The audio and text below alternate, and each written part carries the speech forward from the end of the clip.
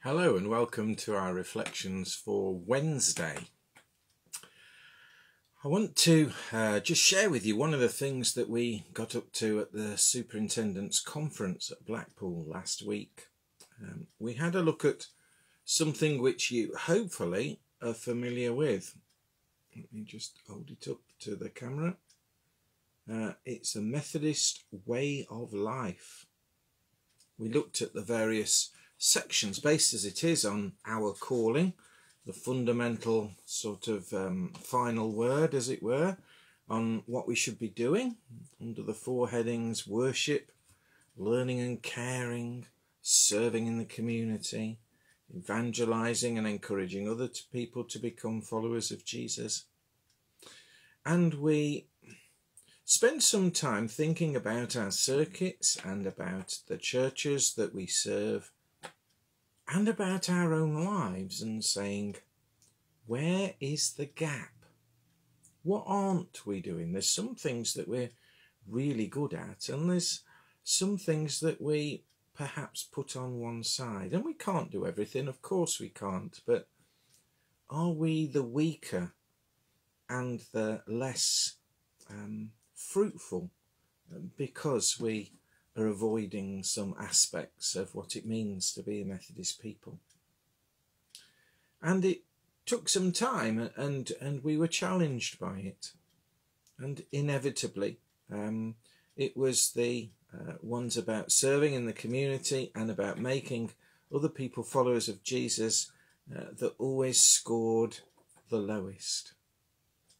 And Trey Hall, the uh, uh leader of the um, growth and evangelism team in the Methodist Church headquarters said that they'd done some um, audits of this around the Methodist connection, and there was no instance in any place where evangelism, making other people followers of Jesus or encouraging them to do so, came anything other than fourth out of four. So it is that we come today to the reading which is called the Great Commission.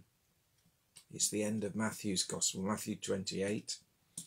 And it's where Jesus says, As you go, make disciples. And encourages them that he will be with them every step of the way, till the end of the age, he says. The Great Commission. Dallas Willard, an American theologian, coined the phrase the great omission. You know, in Revelation 21, where there's that image of there will be no longer any sea. Well, unfortunately, uh, in many of our churches, the sea has already gone from the Great Commission and it becomes the Great Omission.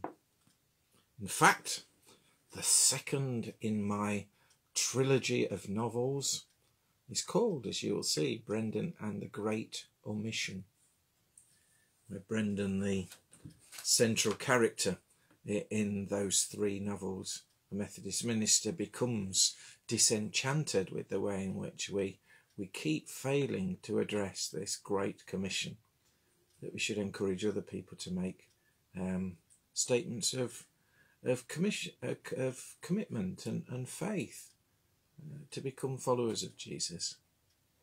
Unfortunately, a lot of the time we've we've either lost interest in that or we've lost confidence in that or we've lost the ability to do that.